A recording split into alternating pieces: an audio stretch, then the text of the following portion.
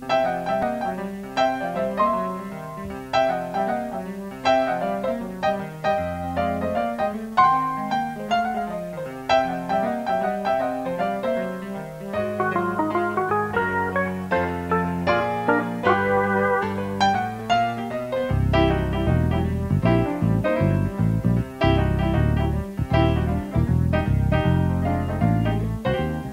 har en bild av sig själv som man, de flesta försöker leva upp till den. Jag försöker sudda ut den.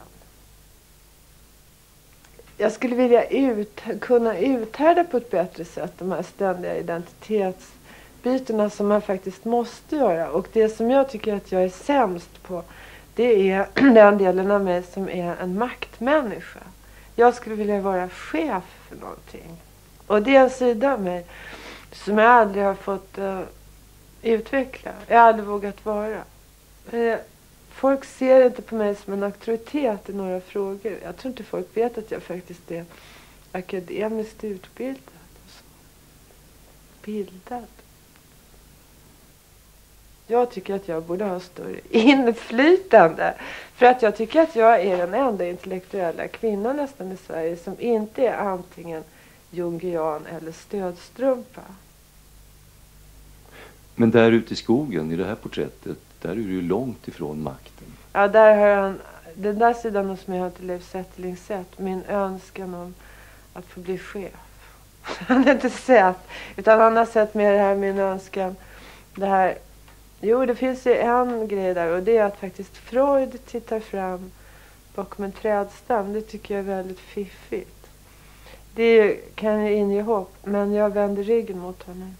Varför tittar han fram för? Varför går han inte fram helt och fullt själv? Jag tror att det där Leif Zetterlund tyckte kanske att Freud håller på att smyg titta lite sådär på mig.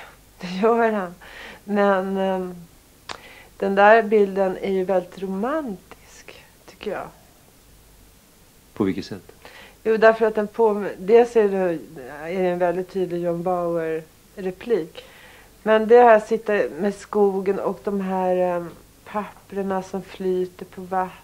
Och, och det den, det är på något sätt barnet är kvar.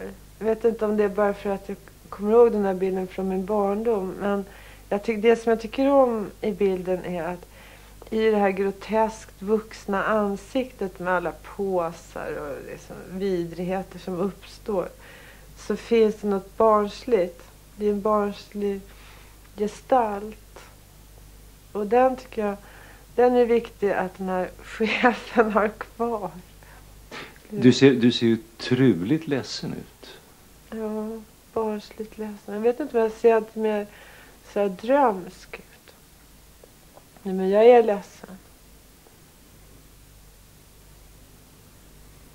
Kan man må bra av att vara olycklig? Ja, tyvärr så kan det ju vara så att man kan ju vänja sig så vid att vara olycklig så att det blir att det blir det enda tillstånd som man kan hantera. Och då har olyckan blivit bekväm. Då, då mår man faktiskt bra när man är olycklig och får ångest när någonting ifrågasätter den olyckan. Så har jag upplevt det mycket. För jag, jag har alltid tagit för givet att jag ska vara en olycklig människa. Och så märker jag ibland att jag är en fruktansvärt glad person. Och då känner jag mig hotad i hela min verksamhet. För, för att eh, det stämmer inte då.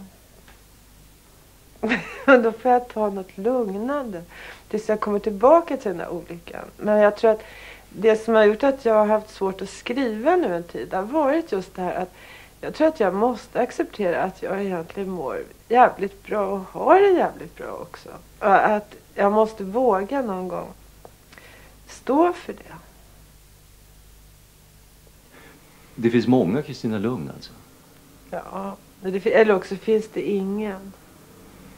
Det är bara en varubeteckning det där Kristina Lugn.